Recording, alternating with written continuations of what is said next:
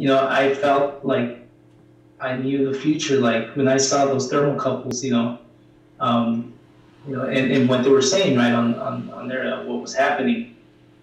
It, it's like they're not going to make it. Like Yeah. you know, uh, and I'm sure a lot of other uh, engineers, you know, knew that or, or felt that as well, right? You know, but it was just it's one of those things where like at that moment you, I, I- did wish that I hadn't known any of that, like just you know, because it didn't, it felt, um, you know, was, it just felt like there was no recovery from it, right? It- yeah, was- like a helplessness, you know, where you you, Yeah, you know it's gonna right. fail, but you can't do anything about it. Right. Yeah. You know. Um, yeah.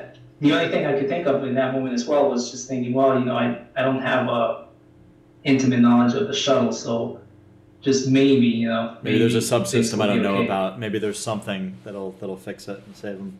Right. Right. Yeah. Yeah. But uh, yeah, that's the yeah that, that's the that's the hard part of those moments, right? You know? That's rough. and then and then uh, just um, you know back then I didn't really work with the astronauts at all. you know, once in a while we'd have an astronaut come to the facility and look around. They'd give them a tour, but um, that's something that, that at that moment I, I didn't. So I think that if I had been working with them, that would have been even bigger impact, right?